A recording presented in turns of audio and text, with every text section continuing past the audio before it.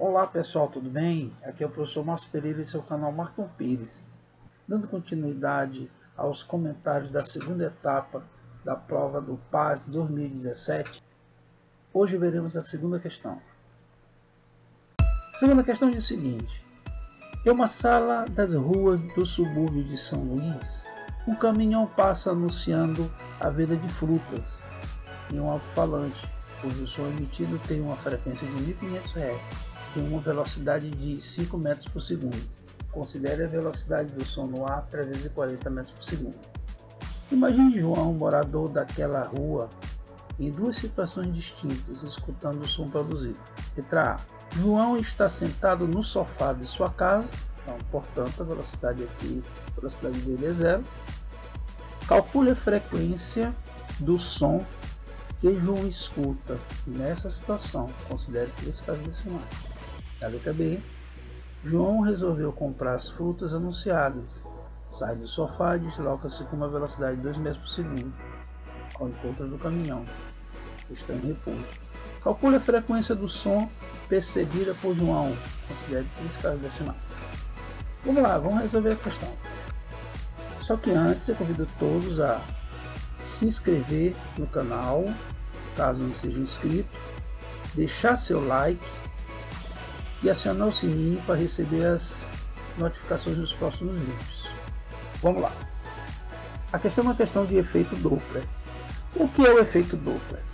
O efeito Doppler é a alteração de frequência percebida pelo observador em virtude do movimento relativo de aproximação ou afastamento entre fonte e observador. Recebe esse nome em homenagem ao físico austríaco Christian Doppler.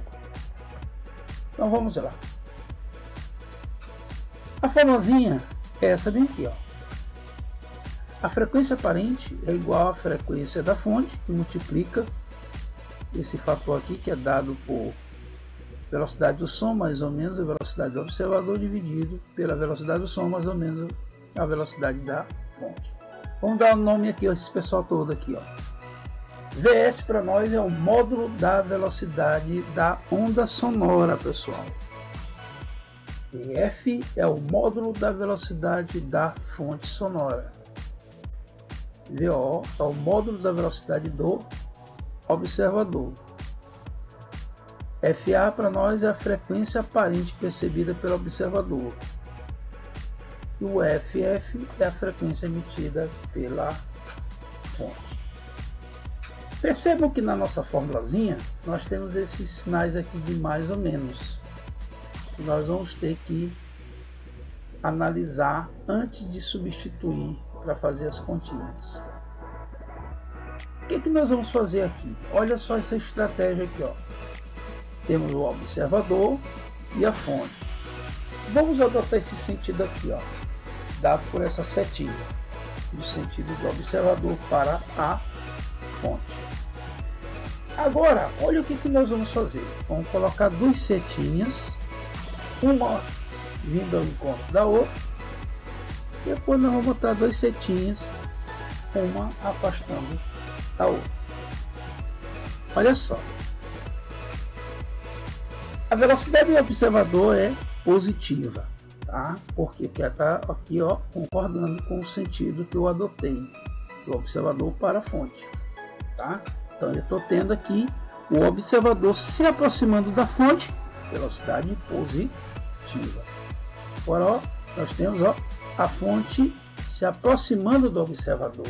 Notem que o sentido da setinha da velocidade da fonte é contrário aqui ao sentido adotado, por isso que eu coloquei menos. Tá?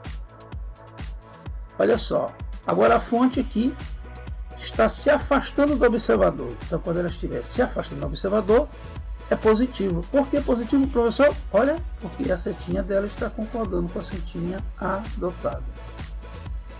E a velocidade do observador, observe que o observador agora está se afastando da fonte, negativa. Por que negativa, professor? Setinha aqui do observador, contrário à setinha adotada. Pessoal, se vocês fizerem esse esqueminha aqui, vocês vão substituir com segurança aqui na fórmula, dependendo do que o problema está querendo. Repouso, pessoal. pelo repouso, velocidade da fonte zero ou velocidade do observador zero. Vamos voltar para a nossa questãozinha. Então vamos lá, na questãozinha A, dados do problema, frequência da fonte 1500 Hz, velocidade da fonte 5, velocidade do som 340 e o observador está em repouso, velocidade zero. Olá, observador, fonte, sentido, sempre do observador para a fonte, não esqueçam disso. O observador está em repouso e a fonte está se aproximando do observador. Então vamos colocar o sinal menos, porque o sentido aqui da velocidade da fonte está contrário ao sentido adotado. Então substituindo na formulazinha, vamos ter velocidade da fonte 1500 300, 340 a velocidade aqui do som. Isso aqui vai dar zero, né? Então, por isso que eu não botei aqui. Velocidade do som 340. Agora, ó, olha só o sinalzinho aqui é menos. Então você botou aqui, ó, da fórmulazinha você botou o sinal menos. Daí nós temos, fazendo as continhas, frequência 1522,388. Ele quer com três casas decimais. Ok, pessoal? Tranquilinho isso aí? Agora vamos interpretar aqui, ó. Quando você tem uma aproximação, você vai ter um aumento da frequência, ou seja, o som se torna mais agudo. Frequências maiores, você tem o som agudo. Então, esse som aqui é mais agudo que esse aqui. Vamos para a próxima. Letra B.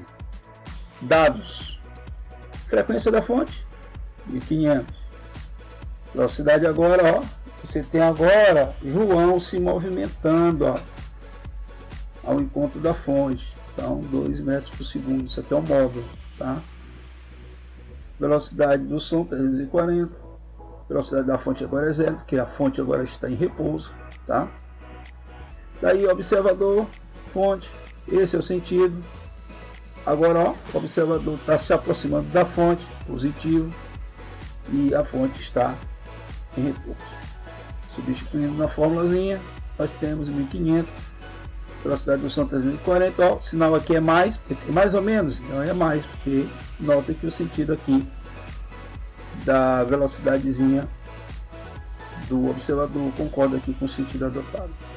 Nós temos 1500 vezes 342 dividido por 340, a frequência fica 1508,823 Hz. Ok, pessoal? Compreenderam essa questão? É uma questão fácil, uma questão de substituição direta de forma. Entretanto, vocês têm que tomar cuidado com esses sinais aqui. Aconselho pegar outras questões, tá? Peguem outras questões. Existem várias questões envolvendo efeito Doppler. Ok? Fiquem de olho nos próximos vídeos e até a próxima aula.